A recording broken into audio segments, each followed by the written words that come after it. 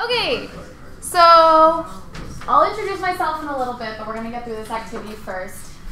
Now that you guys have hopefully come up with 10, even though I know none of you, or maybe not any, did anyone actually get to 10 ideas? Raise your hand if you did. Yeah. hey, good job. Um, okay, so now I want you to look at the ideas that you did come up with and choose your top three. Hopefully, you at least came up with three. So, circle your top three that you think are the coolest, best ideas that you are most interested in, um, that you like the most. So, circle your top three. I'll give you like literally four seconds for that, which shouldn't take that long.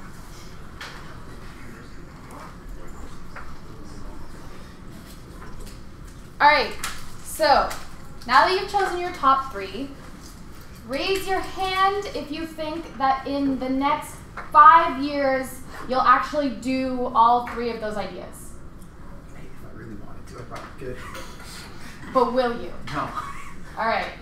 So why don't you think you'll do those top five ideas? I'll pick on you since you Oh. I'm just, I'm just lazy. Or top three. Kind of just put them off. Like, eh. That's it. You That's just it. like don't want to do them. yeah. Okay. So now. Uh, for one of the three ideas which you pick, write down five things, like little things that you can do in the next week. So if it's like you know like a programming side project and like a new tech stack, like go find like a good tutorial. Like that's item number one.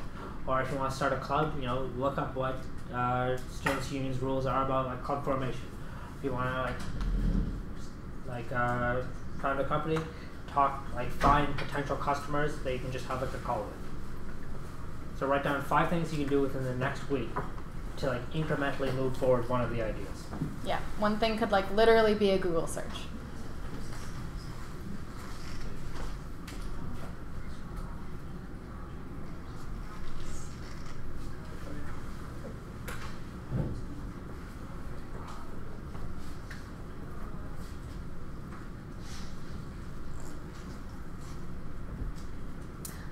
All right, so I'll stop putting you guys through the pain of actually doing work at a at a talk, but thank you for humoring us. Um, I'll let Ram take it away first. Uh, so I'm Ram. I am a third year computer science student at Laurier. I'm the executive vice president and the co-founder of the Golden Hack. Uh, I was a data analyst for Prism Resources, a data analyst for Alumni Laurier. I was the VB and coding instructor for Prism Resources. I was a data analyst for Employment and Social Development Canada. And I'm now a software developer for Lakes Environmental Software. And, and I will be working as a software developer for Geotab over the summer. Uh, so my name is Natasha. Uh, I take computer science at UW and I do business here at Laurier. Uh, I'm also in my third year, uh, currently on co-op actually at Zebu. Um, I am the president and co-founder of the Golden Hack, and I've also done co-ops at TD, Staples, and I've worked part-time as the coding instructor at Prism last summer.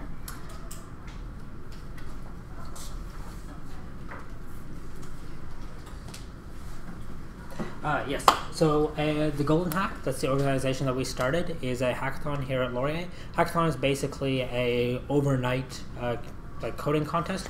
So for the Golden Hack, we had approximately 100 students come from Laurier, Waterloo, University of Toronto, and other high schools uh, in the Laurier in the Waterloo Waterloo area. So they came together and they formed uh, small teams, and over a 24-hour period, they worked on challenges proposed by some of our corporate sponsors. So, for example, Zebu, uh, which is a secure messaging startup in Waterloo, they proposed uh, making like a secure version of uh, like an application or product. Deloitte Digital, uh, Deloitte Digital Labs, they proposed a challenge around identifying high-growth startups in the Waterloo area. So after you came together and you built this like a minimum viable product, you built like a user interface, you built some backend, and then you created kind of like a business research case. You then presented to a group of judges from our corporate sponsors. We approximately had uh, about a one about hundred people attend, and we approximately had about twenty groups present. So, I tend to have a problem where I like to talk about a lot of things and come up with a lot of great ideas for businesses, clubs, side projects. But the main problem is that I never actually follow through on those things. I kind of just talk about them a lot and then do nothing. And about a year and a half ago now, I was talking to one of my friends in Byte, in Laz, and I was telling her how I was like, oh, I should start this fintech club at Laurier. It'd be so cool. We could like have a bunch of talks and then like run a hackathon and it'd be amazing and like so fun, blah, blah, blah. And like this is at the point where I've already told her about the other three companies that I wanted to start and the other six side projects that I was never actually going to do. And she kind of stopped me and she was like, you know, you have a lot of ideas, but you should really try following through on one of them because you don't ever actually do that part of the process. And I was like, yikes, I probably should actually follow through on something, or I'm just going to end up with a bunch of ideas and nothing on my resume.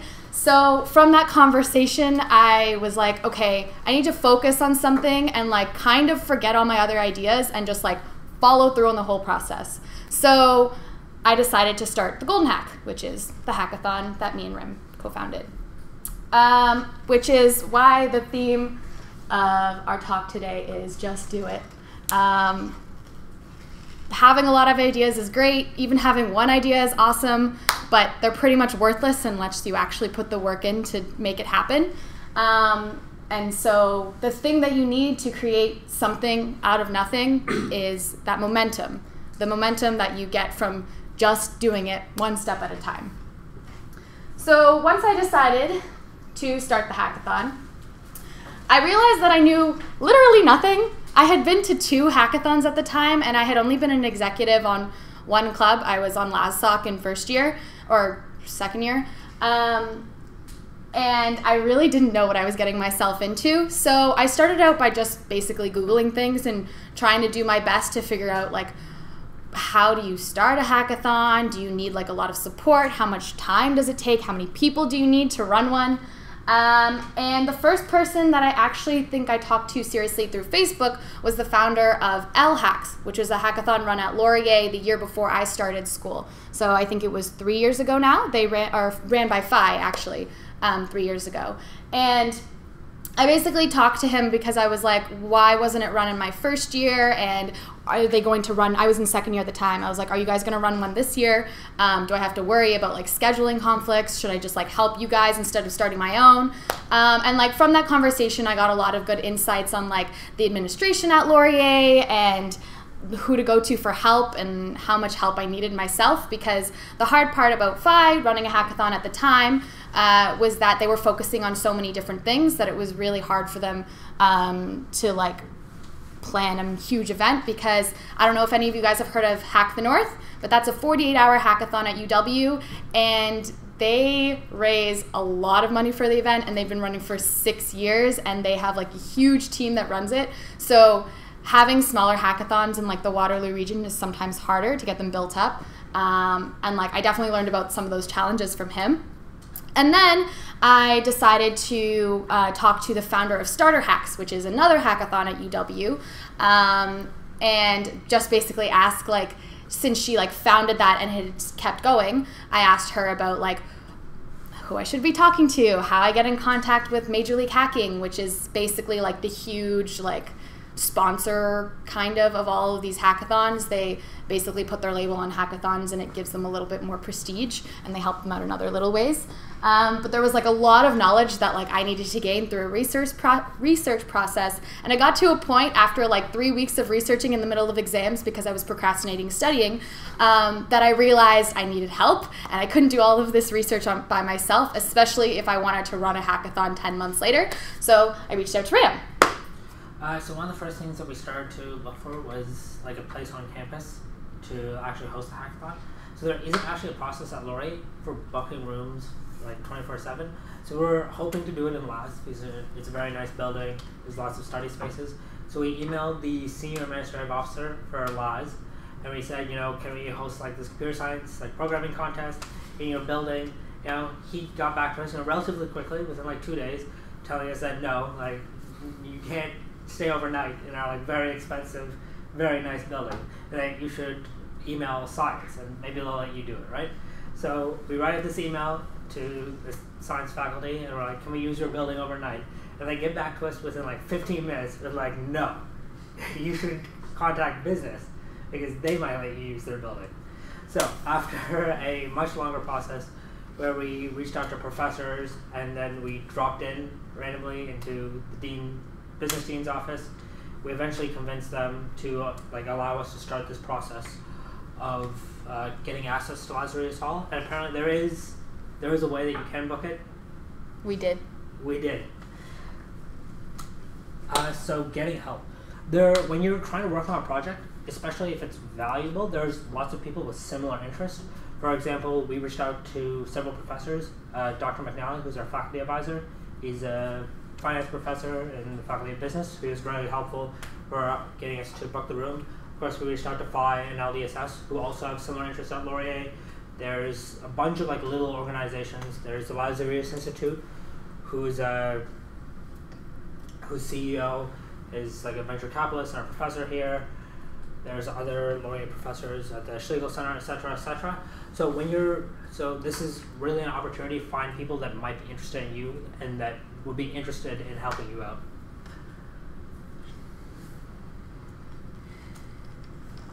So building a brand and reputation, especially when you're getting started, a lot of times it's you don't really have anything to show, but the fact that you're eager, the fact that you're forward looking, and the fact that you you come off as professional, something that's really important.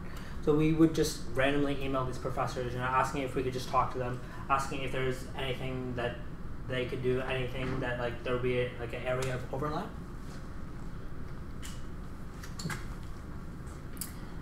Something that we also found was really important throughout the process was building a really great team. Uh, obviously, two people was not enough to run the entire event on our own. So we ended up, by the time we ran the event this past October, with 23 total members on the team. Um, and that was people helping out with our financial situation, people getting us sponsors. Um, people doing our website. Uh, like we have a whole tech team, which was really, really great at marketing, operations that ran like all the event planning. Um, and something that was really important and that we learned very quickly from talking to other hackathons was that spending 24 hours with people that you don't like really sucks. So, we really, at least me and Ram as leaders of the team, we really wanted to focus on team building, getting everyone to try to get along, make friends from the team. So, we did things like socials, we did a cottage retreat as a team. Um, we just like planned a like bunch of stupid icebreakers and stuff to get people to try to like bond as much as possible. Um, and it definitely think help or I think that it helped in like the success of the event for sure because you want to support your friends and you want to help out as much as possible. And also having people that are dedicated and also talented and um, determined to get things done really really helps you in the long run. Like our vp of operations which is basically like the person who handles the day of planning so like booking rooms organizing where everything's going to be doing the schedule she had run a hackathon for three years in high school um, in toronto at her high school and so she had just like a fountain of knowledge and was extremely like dedicated to the idea of starting something new um, and that definitely benefited us for the day of so, another thing that we had to deal with was handling stress. Uh, throughout the process, being it being our first year running this event, not only did we have to build our reputation and get people to trust us to run the event, we also had to convince companies to give us money for basically nothing. We had no proof that we could run the event.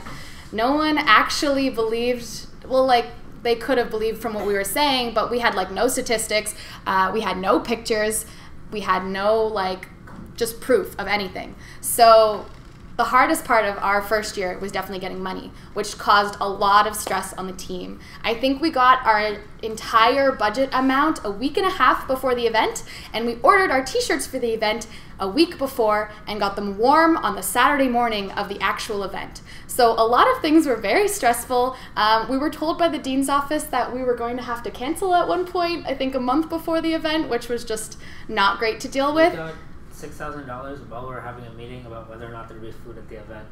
Yeah, we were like considering cutting the event by like six hours, like dealing with this where it goes back to having a strong team. Thank God we had people that were competent and were getting their shit together. It was great. Um, but we definitely had to work under a lot of stress. Uh, something that really helped us was preparing ahead of time. Like I said, we had our VP of operations who had run three hackathons before. She was insane with planning everything to a detail. It was great. There was a million Excel sheets, amazing. There was a whole volunteer schedule. Um, everything that was in our power, like we kept it organized. We had like files to make sure that like everything was sorted correctly. Um, and we also did like a lot of talking out stressful situations. So we're very active on Slack as a team. Um, we would have meetings weekly leading up to the event and just have calls whenever we needed to talk to specific people. Um, and also just like remembering that we weren't alone because we did have a team of 23 people and we also had Professor McNally to back us up, which was very helpful. Um, but yeah, handling stress, like just being able to talk to people definitely helps. Like even talking to people that weren't part of the event um, to help us like get through some very stressful situations. Uh, it definitely helped out a lot in the end. Uh, so we also had to learn from some mistakes. Obviously, running it our first year, not everything was perfect. Like I said, we didn't get money till very, very late, which probably we could have fixed if we had done some things differently earlier in the year. Um, and it's also very easy to forget details when there's a million things to focus on. We didn't have any best practices. We just had other hackathons that we had talked to and how they did things. So we kind of just had to like wing a lot of things and come up with our own processes for stuff, like our judging process could have been better. So this year we have a plan to make it better. Um, and something that helped with making things better for this year, for next October, is we like kept, wrote down all the things that we thought could have been improved, uh, and we had a briefing meeting to do that after the hackathon. So I think about a week after the hackathon, um, I got the whole team together and we sat down and we were like, okay, what was good? And what was bad and how can we fix that for next year? Do we have any ideas? What could we just change to make things easier on ourselves? Maybe it was fine but lots of ways to improve especially with the first year event and the first time you do any project. There's always going to be things that you can improve for next time.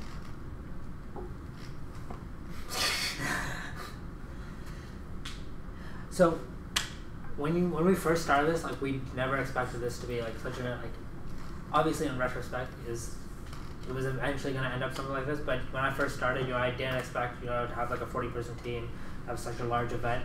But you just take that one first step, and you take the other for other step, and eventually you're just running toward this you know goal that you could have never imagined you know a year ago or two years ago. One more slide. Uh, yes. So, what's next? This year, I'm going to advertise just a little bit. Um, we're running another hackathon next October. So there's still a bit of time until then, but we now have a 40 person team, which is just insane compared to last year.